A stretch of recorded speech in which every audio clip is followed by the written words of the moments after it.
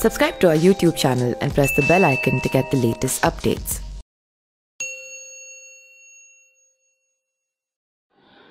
नमस्कार, मैं पिंटू सिंह यादव, आप सभी का स्वागत करते हैं न्यूज़ लाइव में दोस्तों 2022 के शुरुआत में उत्तर प्रदेश का विधानसभा चुनाव है और पूरे देश में सबसे बड़ा जो राज्य है, वो उत्तर प्रदेश है और वहाँ पर चुनाव होने वाला है, जिसको लेकर अभी से जो चहलकदमी है, वो शुरू हो गई है। पार्टियाँ अलग अलग अपने तरीके से तैयारी कर रही है तो वहीं पर कहा जा रहा है कि 2022 के विधानसभा चुनाव में समाजवादी पार्टी का जो पलड़ा है, वो भारी नज़र आएगा तो वहीं मायावती भी अपना गेम खेलना शुरू कर दी हैं। लेकिन सबसे ज़्यादा अगर किसी पार्टी की सुर्खियाँ बन रही है तो वो है बहु भारतीय भारतीय जनता पार्टी, यानी कि बीजेपी। क्योंकि बीजेपी को लेकर जिस तरीके से पिछले कुछ दिनों से ऐसी ऐसी खबर आ रही है, जिसको लेकर कहा जा रहा है कि उत्तर प्रदेश में एक बड़ा बदलाव देखने को मिल सकता है तो कुछ लोगों का कहना है कि योगी जो हैं फिर से मजबूती से चुनाव लड़ेंगे और 2022 में अपनी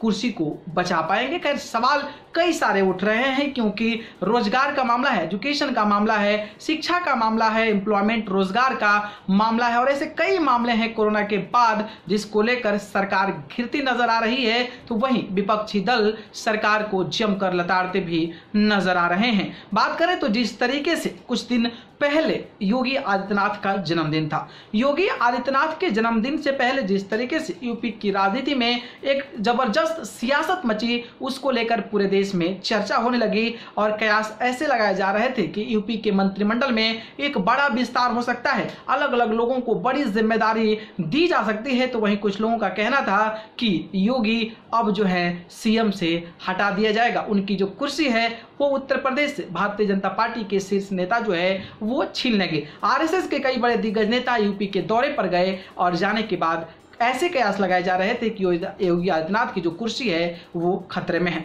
बात करें तो जिस तरीके से यूपी के भाजपा प्रभारी जो हैं, राधा मोहन सिंह, उन्होंने आनंदी बेन पटेल से मुलाकात की। उसके बाद से और योगी सरकार और योगी के जो बीजेपी सरकार है, उत्तर प्रदेश में, उसको लेकर चर्चा होने लगी और अपोजिशन जो है, वो जमकर लताड़ने लगे कि योगी की कोई वैल्यू नहीं है और योगी लगता है कि 2022 विधानसभा चुनाव से पहले ही अपनी कुर्सी को त्याग दे। लेकिन योगी आदित्यनाथ कम नहीं है। योगी आदित्यनाथ जिस तरीके से अपना पूरा उत्तर प्रदेश में वर्चस्व बनाए हैं और जिस तरीके से राजनीति में एक अच्छी पकड़ बनाए हैं, उसको लेकर वो बड़े बड़े नेताओं को, आरएसएस नेताओं से लेकर प्रधानमंत्री तक, यानी कि मोदी तक को चुनौती देते नज़र आ रहे हैं। बात करें तो भले ही उनके जन्मदिन पर जेपी नड्डा, अमित शाह और भारत के प्रधानमंत्री नरेंद्र मोदी उनको जन्मदिन की शुभकामनाएँ नहीं दिए, बल्कि पूरे देश के सबसे बड़े देश सबसे बड़े राज्य के जो है मुख्यमंत्री हैं, लेकिन इसके बावजूद भी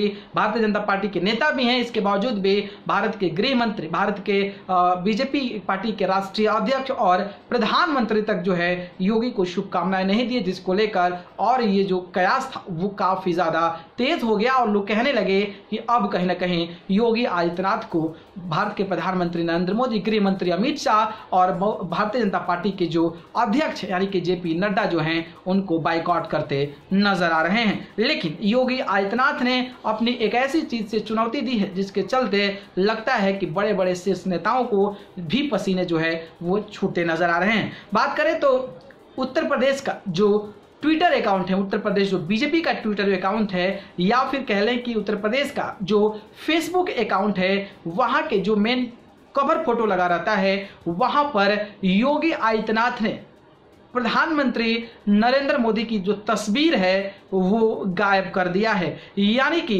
हर राज्यों के प्रदेश जो पेज होते हैं, भारतीय जनता पार्टी के हर एक राज्यों के, वहाँ पर जा जाके देखते हैं तो भारत के प्रधानमंत्री की तस्वीरें लगी होती है। लेकिन जिस तरीके से उत्तर प्रदेश के बीजेपी फेसबुक पेज पर, उत्तर प्रदेश के बीजेपी ट्विटर के अकाउंट पर जिस तरीके से प्रधानमंत्री नरेंद्र मोदी की तस्वीरें हटा दी गई है, उससे तो यही लगता है कि भाई योगी आदित्यनाथ भी फॉर्म में आ गए हैं और योगी आदित्यनाथ भी बड़े बड़े शीर्ष नेताओं को चुनौती देते नज़र आ रहे हैं। और लगता है कि योगी आदित्यनाथ को कोई भी कुछ नहीं उखाड़ सकता है और वो अपने दम पर यूपी का चुनाव लड़ेंगे। तो वहीं कुछ लोगों का कहना है कि ये जो है एक राजनीतिक साठगांठ है और अपना एजेंडा सेट करने के लिए इस प्रकार की चीज़ें बनाई जा रही है ताकि योगी आदित्यनाथ जो है वो एक मज़बूत तरीके से खड़े हों और लोगों के बीच एक ऐसा मैसेज आए कि योगी आदित्यनाथ जो है, वो इतने पावरफुल हो गए हैं कि अपने दम पर वो उत्तर प्रदेश को जिता देंगे। खैर, इसमें कई तरीके की बातें हो रही है।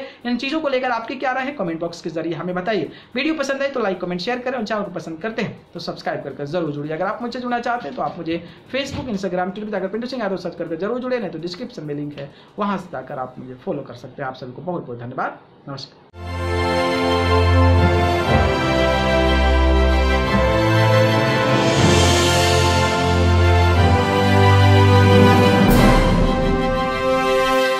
Subscribe to our YouTube channel and press the bell icon to get the latest updates.